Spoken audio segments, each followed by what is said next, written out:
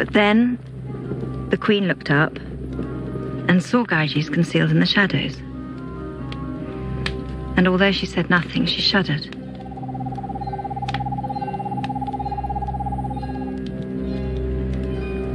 And the next day, she sends for, for Gyges and challenged him. And hearing his story, this is what she said. Off with his head.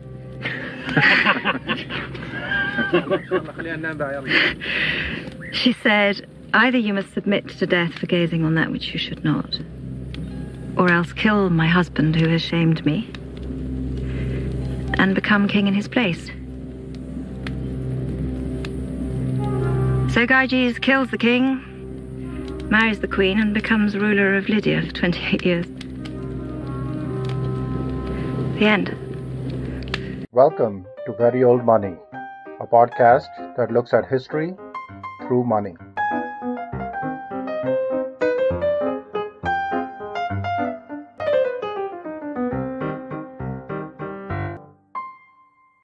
Episode 2.1 Lydia and the Birth of Western Coinage. A quick announcement before we begin. I'm going to group my episodes as seasons, and I will place the total number of each episode in parentheses before the title. Since I plan to jump about a bit, this should make it easier for me to group seasons on the same topic and theme together. So, say if I come back to Lydian coinage in a later episode, I can just group it with the season so down the road people know which episodes are grouped together. That is the plan right now. Let's see how this works. The coins listed on the cover art today are from Classical Numismatic Group LLC, and you can view their site at www.cngcoins.com. Once again, I'm very grateful for their assistance in providing me the images for this podcast. So let's go on with the show. In the 12th century BC, the Hittite Empire of North and Central Anatolia abruptly collapsed. Anatolia is also sometimes referred to as Asia Minor and is what is now the continental landmass of Turkey. The Hittite Empire had been declining for a while, with its eastern borders under threat from a rising and resurgent Neo Assyrian Empire but when the collapse happened, it was abrupt, and the Hittite capital itself was burned down around 1180 BC. The fall of the Hittites is part of what is sometimes called the Bronze Age collapse of the Eastern Mediterranean, when a number of states in the region collapsed under an attack of an unknown group of invaders, sometimes called the Sea Peoples. Only Egypt, under its last great pharaoh, Ramses III, drove off the invaders after two pitched and bloody battles. But exhausted, Egypt itself fell into a long decline in the aftermath of these invasions. One of the peoples who brought down the Hittites were the Phrygians. Now, the origin of the Phrygians has been disputed. Herodotus identifies them as migrants to the region, and there's some recent scholarship that has questioned whether that is actually true. And then there's obviously a debate if that is not true, who were the Phrygians and how did they fit into the Hittite Empire? But based in central and western Anatolia with its capital at Gordium, the Phrygian kingdom was soon a power in the region and was actually encroaching on the Assyrian Empire in the east. The king Midas of legend, the one whose touch turns everything to gold, was a king of Phrygia. According to one of the myths, when he despaired of his power to turn everything to gold, he prayed to the god Dionysus and begged to be delivered from starvation because anything he touched turned to gold. Dionysus heard his prayer and told him to wash in the river Pactolus. As a result, this power of turning things to gold was transferred to the river, and as a result, the river sands themselves turned into gold. Now, this is the myth that was later used to explain why the river Pactolus was so rich in gold and electrum, the material that will be used to provide the first coinage in the region. There are three kings named Midas in the Phrygian kings list. The one on whom the legend has been based has obviously not been convincingly identified. According to classical historians, the last king of Phrygia was also named Midas. He committed suicide around 695 BC when his kingdom collapsed under the attack of the Cimmerians, a steppe people who also gave much grief to Assyria at the same time. King Midas supposedly committed suicide by drinking bull's blood. Now, bull's blood itself is not toxic, but it's often been mentioned in ancient sources as a poison used by many classical figures to commit suicide. So, what exactly they were drinking is something that's obviously a matter of speculation. The Cimmerians themselves were eventually driven out by the other Anatolian power player that was rising in the region, the Kingdom of Lydia. Lydia had its capital at Sardis, and they spoke a now extinct Indo European language from the Anatolian family tree called Lydian. The writing system is alphabetic and it may be related to Greek, and eventually it was written from right to left. Unfortunately, much of Lydian mythology is lost because we have not found architectural monuments which have many inscriptions on them. And so when we look at Lydian history and Lydian mythology, we often relate, rely heavily on Greek sources. And particularly, we come to the aforementioned Herodotus, who is sometimes called the father of history, and who is the source of the story at the beginning of the episode, which is from the English patient. Herodotus gives us three dynasties in his list of Lydian kings, and Gyges, the one in the English patient clip, founded the last one. The last dynasty is almost certainly historical, but we do not know the exact dates at which they ruled, and so that's a matter of conjecture. We have dates assigned by Herodotus, but we have no real independent way to confirm them. According to Herodotus, since Gyges basically came to power in a military coup, he faced some resistance to his rule at the very beginning, and so he used the oracle at Delphi to sanctify his rule. And to get a favorable ruling from the oracle, he sent along a bunch of gifts. And the oracle complied and confirmed him as the rightful king of Lydia. It also stated that the house of Gyges would fall in the fifth generation. And now this has all the hallmarks of an ex post facto prediction. Gyges and his heirs spent a lot of their time fighting the Cimmerians, who were still a problem. Gyges himself seems to have fallen in battle against them. The most successful ruler of the House of Gyges, sometimes called the Mermnad dynasty, was Alyattes, who rules approximately from 610 to 560 BC. And again, these dates are a matter of conjecture. Alyattes came to power at a time of another cataclysmic change in the Middle East, namely the collapse of the Neo-Assyrian Empire. The Assyrians were the big bully of the region for the previous three centuries. They had repeatedly crushed Babylonia, Elam, and even invaded Egypt. But in 612 BC, an alliance of the Babylonians and a new power in the region, the Medes, rose up, defeated the Assyrians, and sacked the capital of Nineveh, which itself was left to ruin three centuries later, a Greek army wandering in the region had no idea what the city was when they stumbled across the ruins of Nineveh. In 609 BC, Assyria itself was wiped off the map. Alyattes and the kingdom of Lydia themselves went to war with the Medes, and this was caused by the Medes pushing west and the kingdom of Lydia pushing east. And this war ended with the indecisive battle of the Halys River in 586 BC. According to Herodotus, the battle was interrupted by the sudden occurrence of a total solar eclipse that both parties saw as an omen. The eclipse evidently had been predicted by the philosopher Thales of Miletus years before. And with the gods themselves giving a sign, Lydia and Media both came to terms. As part of the peace treaty, Alyattes married his daughter to the Median crown prince Astyages, son of King Cyaxares. The Halys itself was fixed at the eastern border of the kingdom. This was not the only war Alyattes waged in his long reign. He also went to war with the Cimmerians and he finally drove them out of Asia Minor, and the Cimmerians soon disappear off the record. He also went to war with a bunch of Greek cities on the coast of Asia Minor, sometimes called Ionia, and he subdued many of them, though he ultimately made peace with the city of Miletus. A map of the Lydian kingdom is available in the post about this episode on veryoldmoney.com. Alyattes is often listed as the ruler who introduced coinage, but that again is a matter of conjecture. The first issues might actually have started under his father Sadyattes. However, by his reign, the first coins were almost certainly circulating. And the Lydians were not necessar- necessarily doing this in isolation. The Greek cities of Ionia may also have been experimenting with coins at the same time.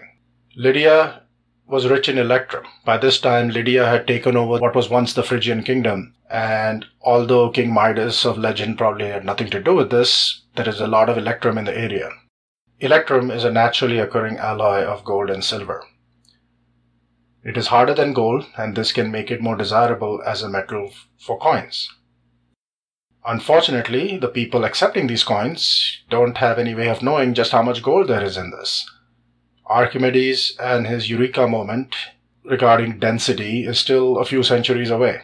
The amount of gold in naturally occurring electrum can vary, and the amount of gold in electrum found in Western Anatolia is somewhere between 70 and 90 percent. However, Lydian gold coins are generally consistently about 55% gold. And about the rest of the 45% is mostly silver and there is some copper. The silver, as I said, makes the coin harder. The copper gives the coin a slightly more golden touch compared to natural electrum, which is generally whiter. And it looks white in comparison to, to gold. But the fact that the gold proportion in Lydian coins is lower than the amount of gold in electrum shows that the Lydians had got the technology to modify the gold content fr- from electrum and reduce it to 55%. The weight standard of Lydian coins appears to be the stater of Miletus, which is about 14.1 grams. However, we have no full stater weight coins from this period. The largest known coin is the weight of a third stater, so it's approximately 4.7 grams, and is referred to as a trite for one third of a stater. And again, we don't actually know what the denomination of this coin was. Uh, the name that has been given is based on the weight of what we know was a weight standard of a stater. The value of a trite in antiquity is debated. It may have been about one month of salary. The size and shape is irregular, but what is important here is not the shape, but the weight. And we have a weight standard and multiple denominations. As I said, the, it starts with one third of a stater, and then you got one sixth, one twelfth, one twenty fourth, one forty eighth, and then even one ninety sixth. This is about 0.15 grams, so really, really small. Now, some of these small denominations are not easy to tell apart. So, what probably is happening is instead of counting in individual coins in transactions, they were being weighed together. The first motif on these coins was a roaring lion head facing the sun. Later coins had confronting lions' heads. These coins are not yet two sided. The obverse die with the image of the lion is, on, lion is only on one side. On the other side, you have an incuse punch, which is what was used to force the flan onto the obverse die.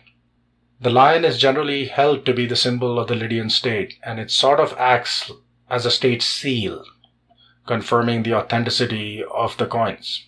There are also electrum coins with boar's heads on them. Now, the boar's head, the winged boar, would later be the symbol of the city of Miletus, uh, Miletus but these coins appear to be Lydian. The first coins were anonymous, but two legends are known on these coins. One of them is the name Koukalim, which may translate to I belong to Koukas. Koukas in Greek could be translate, translated to Gyges, but these coins were almost certainly issued long after the death of King Gyges. The other name found on these coins is Valvet, which could be translated transliterated into Greek as Alyattes. Now, the numismatist Robert Wallace has shown that these coins probably circulated at about the same time, and he's based this on the punch link between the hecti, which is like which is the what we call the one six staters with the Koukalim legend, and those with Valvet, and also comparing the signs of wear and damage on these same punches between these two series. And so, based on this, Wallace has made a very persuasive argument that these coins are probably contemporary. So, we don't know exactly who these people on these coins are. It is possible Valvet was Alyattes, but that is conjecture. The people on the coins don't necessarily have to be the king. It could be a provincial governor. It could be an official whose stamp on the coin is additional evidence of the coin's authenticity. In this early stage of coinage, putting the king's name may not have been a big deal. And as we go through this podcast, there'll be many periods where the king's name never actually appears in the coin. And in later periods, provincial governors and satraps often minted coins with their own name on it. So this is not unusual. So again, we have no idea who these two people are. So in the cover art for today's show, and you'll see it on YouTube and also on the website, I have six coins. And again, all of these are from CNG. The coins at the four corners are trites, one third staters. The one in the top left is from the earlier style with the roaring lion facing right. The top right is an example of the Koukalim trite. And Koukalim is written in a retrograde script between the facing lines. The bottom left is an example of the Valvet coins. And again, Valvet is also in retrograde but the facing line is off the flan. And this is again not uncommon in coins. The die was often bigger than the flan. And there's some speculation as to why this was. This may be a way to control control forgeries, we don't know. But this is an example of that. And the bottom right is another trite, but this one has a face of a boar. And we know from another coin example that there would have been a facing boar on the other side. The boar itself has very prominent tusks, but as I said, the facing board is missing. In the middle are two coins, which luckily for me were photographed together. So you can get to see somewhat a comparison of sizes. The coin at the top is a 1 6th stater, which is sometimes called a hecte, which is about 2.33 grams. Now trites are generally 13 millimeters. The hectes are generally smaller at 10 millimeters, but that's not a huge difference in just size. The weight obviously is half. And the other coin is a 124th stater. It's much smaller. It's only 6 millimeters and only 0.59 grams.